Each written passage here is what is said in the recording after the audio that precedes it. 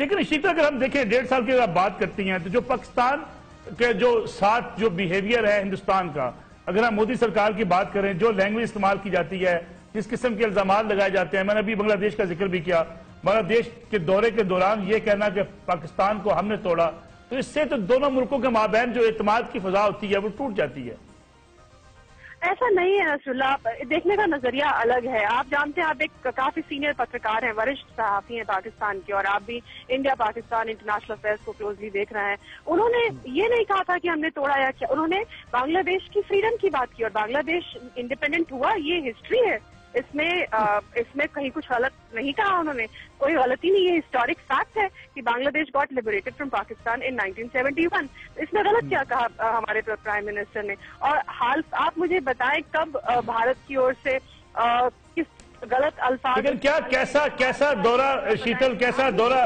लेकिन शीतल क्या समझते नहीं कैसा दौरा? मैार है जब कश्मीर की आज़ादी की बात हो पाकिस्तान कश्मीर की आज़ादी की बात करे तो उस पर हिंदुस्तान वाबेला मचाता है। लेकिन बांग्लादेश पाकिस्तान से अलग हो रहा हो उसका क्रेडिट लेने की बात हो तो वो पाकिस्तान हिंदुस्तान कहता है कि हमारा क्रेडिट है। इसमें क्रेडिट वाली बात नहीं है। उन्होंने सिर्फ़ जो हिस्टोरिक फैक्ट था उसको उसका ज़िक्र किया था। बांग्लादेश की इंडिपेंडेंस का ज़िक्र किया था जो कि एक हिस्टोरिक फैक्ट है। आप भी इसे जानते हैं पूरी दुनिया जानती है। इसमें क्रेडिट हम्म। लेने ना लेने देने की कोई बात ही नहीं है।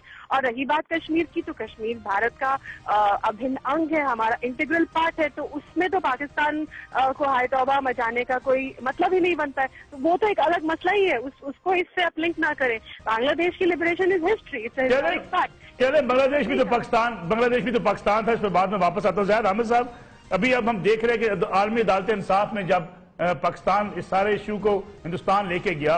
अब जो पाकिस्तान की मुलाकात होगी रोशन की फैमिली की डिप्टी हाई कमिश्नर की इसके क्या असर पड़ सकते हैं खासतौर पर उस केस के ऊपर? देखिए नसरुल्ला पहली बात आपके सवाल का जवाब देने से पहले जो आप आपके पहले मेहमान जो ये बात कर रहे थे see, unfortunately, we are dealing with a neighbor which is also a liar and rabbit.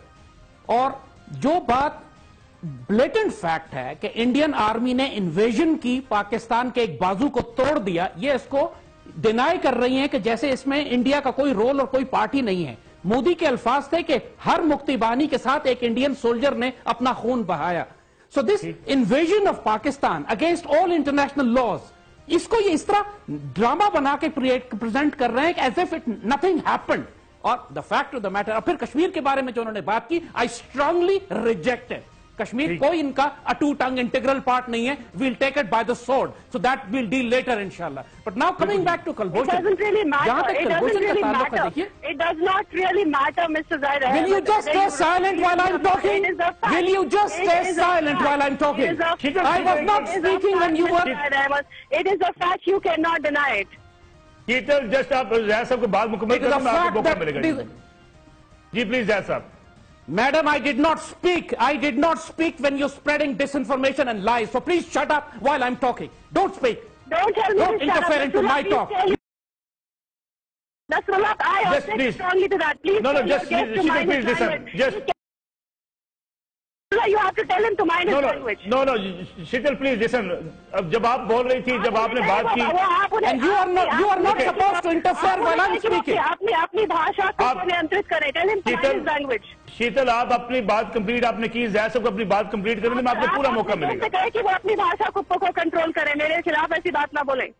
चल जी जी जय साहब। नसरुल्ला जब जब इन्होंने नसरुल्ला जब इन्होंने इंडिया में एक आदमी पकड़ा जिस पर इन्होंने इल्ज़ाम लगाया कि ये पाकिस्तानी है अजमल कसाब उसका नाम इन्होंने दिया हमें तो यह भी नहीं मालूम कि वो उसकी आइडेंटिटी क्या थी नेपाल से उठाया गया था या कहाँ से अगवा किया गया था। उसको तो एक्सेस नहीं दी इन्होंने। उसको तो पाकिस्तान माँगता रह गया कि हमें बताओ तो सही है, है कौन? एक दफ़ा हमें मिलने दो। इसको इन्होंने खामोशी से ट्रायल करके तिहाड़ जेल में दफन कर दिया। पाकिस्तान तो मानने को तैयार ही नहीं था। उसकी फैमिली सामने आई और कबूल किया कि वो हमारा सिटीजन है। आपकी अगेन अगेन आप भी तो again you are speaking while I am talking it's my time Sheetal you don't know just stay silent it's my time I have to correct you you don't know your अच्छा अब मुझे मुझे अच्छा नसरुल्ला जहाँ तक कलभूषण यादव जहाँ तक कलभूषण यादव का ताल्लुक है आज तक इंडियन गवर्नमेंट डिनाई करती रही है कि वो पाकिस्तान आया ही नहीं। वो कह रहे हैं कि हमने ईरान से अगवा किया इसको लेकिन इंडियन गवर्नमेंट ने ईरान से कोई प्रोटेस्ट नहीं किया। ईरान ने एक्सेप्ट नहीं किया कि पाकिस्तान आर्मी या आईएसआई ईरान जाके इसको उठा के है।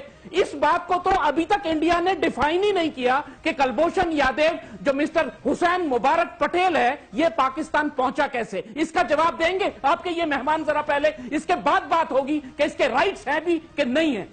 What rubbish nonsense they bark against ठीक है शीतल क्या ये जो अभी आवाज़ उठाई बात उठाई अभी जैद अहमद साहब ने ईरान से कोई एहतजाज नहीं किया गया जो उनके नाम के हवाले से और खासतौर पर डिनाई किया जाता रहा मुसलसल कि उसका ना राज से कोई तल्लक है ना उसने पाकिस्तान में कोई कार्रवाई की है ना वो इंडियन नेवी से उसका कोई ताल्लुक है।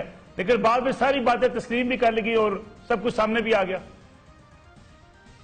ये फैक्ट है और गवर्नमेंट ऑफ़ इंडिया इसको बार बार बोल चुकी है कि वो उसे ईरान से किडनैप करके लाया गया है और वो इंडियन नेवी के हिस्सा थे रिटायर्ड थे वहाँ बिज़नेस करते थे। ईरान से कभी एहतजाज नहीं किया बात समझ में नहीं आ रही है? इसमें मैं जानना चाह रही हूँ कि आपके मेहमान को इसमें क्या बात समझ में नहीं आ रही है? इतनी सिंपल बात समझ में नहीं आ रही है। चलिए शीतल मैं आपकी तरफ़ वापस आता हूँ। रीमा पर आप बताइएगा कि इसका इंटरनेशनल कोर्ट ऑफ़ जस्टिस में जो केस चल रहा है अब जो रिसाई मिली है मैं आपसे भी इसमें इनपुट चाहूँगा लीगल इनपुट आपका। क्या इसका इफ़ेक्ट क्या होगा इस केस के ऊपर खास तौर पे? जी बहुत शुक्रिया नसरुल्ला साहब। बहुत ही हीटेड डिस्कशन हो रही थी। अम, मेरा ख्याल है इस डिस्कशन का केस से कोई ताल्लुक नहीं है। जो केस है इसके ग्राउंड्स बहुत लिमिटेड है। Vienna convention on consular relation कहता है कि किसी गैर मुल्की शहरी को अगर आप अरेस्ट करो डिटेन करो ट्राई करो तो उस सेंडिंग स्टेट को जहाँ का वो नेशनल है इस केस में भारत उनको कॉन्सुलर एक्सेस और जो इंडियन नेशनल है उनको कॉन्सुलर नोटिफिकेशन की राइट है। ठीक है। Vienna convention on consular relations में चाहे आप दहशत गर्दी में मुलविस हो इसका इल्ज़ाम है आप पे चाहे आप जासूसी में मुलविस हो इसका इल्ज़ाम है ये एक्सेप्शन इस राइट के लिए नहीं है। और ये जो राइट है ये अरेस्ट के फ़ौरन बाद इसका ये ये अराइज होता है। अगर पाकिस्तान आज कुलभूषण जाधव साहब को रसाई देता है ये केस पे कुछ इसका फ़र्क नहीं पड़ेगा कोई असर नहीं होगा क्योंकि बहुत आईसीजे की जूरिस्प्रूडेंस है जो ये कहती है कि ये राइट अरेस्ट के फ़ौरन बाद या डिटेंशन के फ़ौरन बाद शुरू हो जाता है। अब रिसाई और दूसरी बात ये है कि ये भी अभी क्लियर नहीं है कि क्या पाकिस्तान ये दलील दे रहा है कि ये जो मीटिंग है ये कॉन्सुलर एक्सेस है। क्या भारत इसको कॉन्सुलर एक्सेस या मीटिंग के तौर पे देख रहा है? ये भी इस पर भी जायजा लेने की ज़रूरत है लेकिन आपके सब दोनों जो जो जब दो जवाब है आपके सवाल के पहला कि इसको देखने की ज़रूरत है कि कॉन्सुलर मीटिंग है या नहीं और दूसरा अगर होगी तो Vienna convention on consular relation और ये जो आईसीजे का केस है इस पे कुछ असर नहीं पड़ेगा क्योंकि वो विदाउट डिले कहती है आर्टिकल 36 और अभी अ, उनको पकड़े मार्च 2016 में अरेस्ट हुए थे। उनके ट्रायल जो था कई महीने उसको गुजर गए हैं तो अब काफ़ी लेट है तो केस तो चलेगा अभी। लेकिन क्या जो टेररिस्ट के होते हैं केस टेररिज्म के जो केसेस होते हैं उनमें भी रसाई देनी ज़रूरी है? कि आप समझती है कि या जो टेररिज्म के केसेस नहीं होते उनमें रसाई नहीं हो सकती? देखिए ये एक ऐसा सवाल है जो International Court of Justice decide करेगा। इस पे फैसला होगा। अभी रिटर्न प्लीडिंग्स हुई हैं आगे ओरल हियरिंग्स होंगी। फिर ये एक बहुत ही की इशू है इस केस का।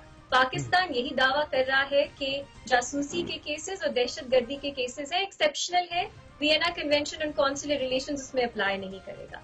मेरी नज़र में ये कमज़ोर आर्ग्यूमेंट है क्योंकि देखें कल को पाकिस्तानी शहरी किसी और मुल्क में अरेस्ट होता है। सिर्फ़ इल्ज़ाम की बुनियाद पे आप राइट्स जो है वो डिटरमिन नहीं कर सकते। इस तरह तो आप सिर्फ़ चार्ज बदल के ये बता सकते हैं कि क्या आपको आप कॉन्सुलर एक्सेस नोटिफिकेशन की जो प्रोटेक्शन है वो देनी है कि नहीं तो ये कल को बहुत मेरी नज़र में खतरनाक आर्ग्यूमेंट है जो इस केस में नहीं इसके बहुत फार रीचिंग कॉन्सिक्वेंसेज होंगे। लेकिन आ, ये जो है ये आईसीजी ने डिटर्मिन कंक्लूसिवली बात करनी है इस केस में। ठीक हो गया